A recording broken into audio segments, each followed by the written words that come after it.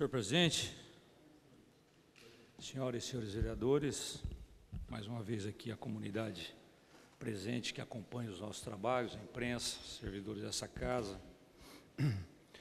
Eu, eu gostaria de fazer aqui um registro que o, o parlamento tem uma das suas principais funções é, o diálogo, buscar através do diálogo a, as alternativas, a construção de alternativas, alternativas essas que venham de encontro aos, aos interesses do bem comum daqueles que, da nossa comunidade. O parlamento tem essa função e eu quero aqui fazer um destaque.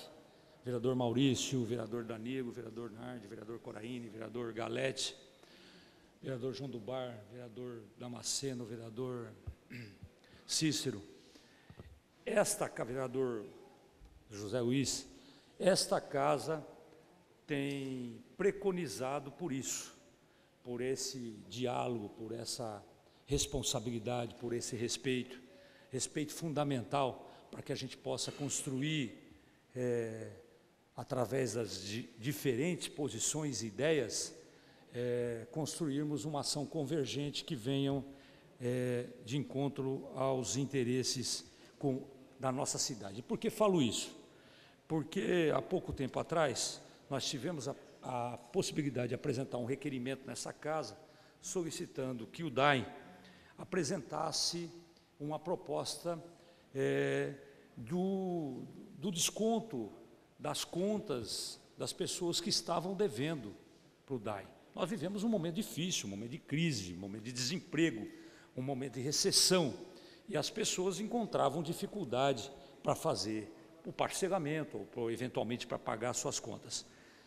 Feito esse requerimento, é, o prefeito Daniel Alonso prontamente atendeu essa propositura, que não é do vereador Marcos Rezende, essa propositura é desta casa, dos, de todos os vereadores, dos 13 vereadores que aprovaram por unanimidade esse requerimento. Isso acabou viabilizando, porque o prefeito encaminhou essa casa, um projeto de lei, essa casa aprovou também por unanimidade, e nós já tivemos, se não me falhe aqui a memória, nós já tivemos mais de 3 milhões de reais arrecadados de contas que estavam sem nenhuma perspectiva de recebimento, é, porque as pessoas não tinham condições, então foi dado aqui um desconto de 100% na multa e juros, e o parcelamento é, em até 72 parcelas foi dado um desconto de 80%. Isso viabilizou a chance dessas pessoas que não tinham a mínima condição, vereador Zé Luiz, de efetuarem é, o seu pagamento da, da sua, do seu consumo, é, tivesse a oportunidade de realizar.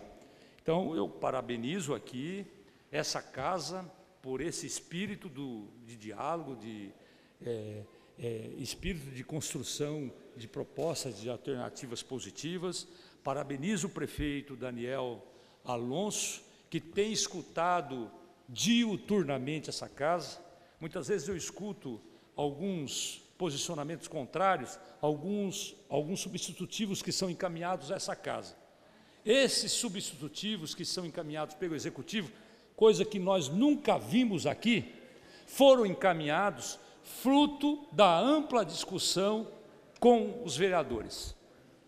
Da ampla discussão com os vereadores.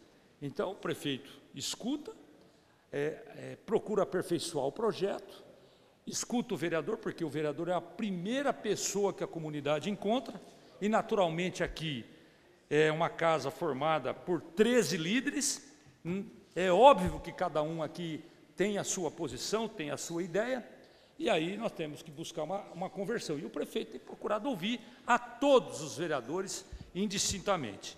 Então eu faço essa, esse cumprimento aqui, porque eu acho fundamental a gente exaltar que vivemos um momento é, no país dificílimo, não é?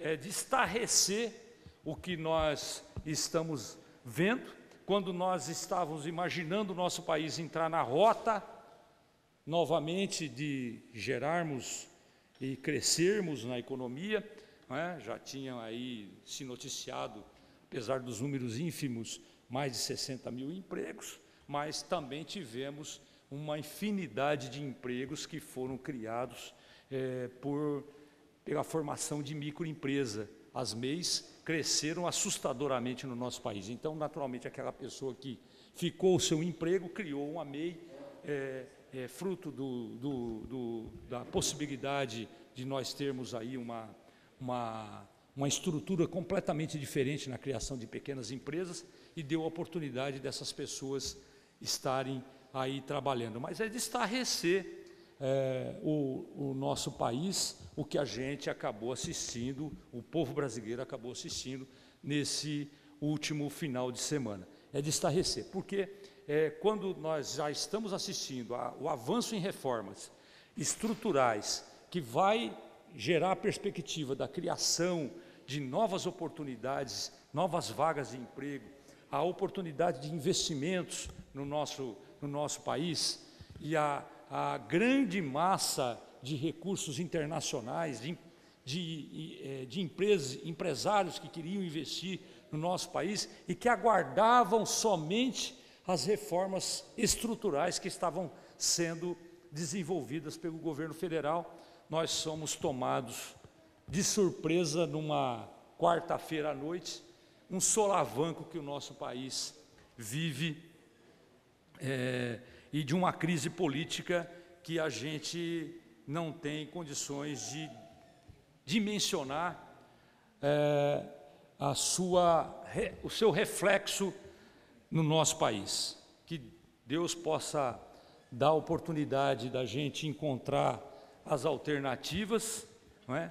é para que é, nós encontremos a chance de fazermos essas mudanças, essas reformas que são fundamentais é? é para que esse país volte a se desenvolver, volte a crescer. Mas eu, quando, é, presente, é, saí candidato, exerço aqui o mandato, é, é, estive em contato com a, a, comunidade, tive a chance de conversar com muitas pessoas, eu fiz e estou aqui porque quero fazer o melhor para a nossa cidade. Eu amo o que eu faço e quero fazer o melhor para a nossa cidade. Eu acho que na política, como em qualquer atividade, nós temos gente boa e gente que não é boa. Em qualquer profissão. É, é médico, é advogado, é construtor, é pedreiro, é na igreja, é, numa entidade, em qualquer atividade nós temos pessoas que são boas e pessoas que não são boas. Não é? Nós não podemos, num momento como esse, eu sei que o sentimento da, da comunidade, até porque a política está no foco, eu tenho, eu tenho honra de ocupar a função, na nobre função que me foi concedida pela população da minha cidade, e o farei com toda a minha, com todo o meu empenho, com a sabedoria que Deus me concede, farei o possível para honrar a cada uma das pessoas que confiaram para que eu estivesse aqui. E me dedicarei de corpo e alma para que possa é, fazer o possível para ajudar a nossa cidade. Aqui não tem ninguém perfeito, eu não sou perfeito, apesar de buscarmos a perfeição, mas eu não sou perfeito mas trabalharei incansavelmente, assumindo posição, tendo coragem de assumir posição. Eu sei que a nossa cidade terá que fazer enfrentamentos, como foi fizemos no passado, vereador Nardi. Os enfrentamentos, farei os enfrentamentos que forem necessários para que a gente ajude a nossa cidade. Não me curvarei, não terei receio de assumir posição, mesmo que as posições que eventualmente eu virá, eu virei a tomar, custe o meu mandato, mas eu farei o melhor para a nossa cidade. Amo o que eu faço, tenho convicção da minha, da minha, das minhas posições, me preparo para ocupar é, as posições em todas as questões, estudo, vou atrás de informação, não sou obrigado a, a saber todas, todas as matérias, mas quando tem uma matéria que eu não domino, eu vou atrás da melhor informação, buscando com isso a construção de uma, de uma ideia, de uma posição que venha ao encontro dos interesses da nossa cidade. Então eu afirmo nesse momento aqui, senhor presidente, essas minhas convicções. Eu acredito no nosso país, tenho fé no nosso país, sei que nós vamos superar todos esses, esses momentos difíceis, como tenho fé e esperança na nossa cidade. Muito obrigado.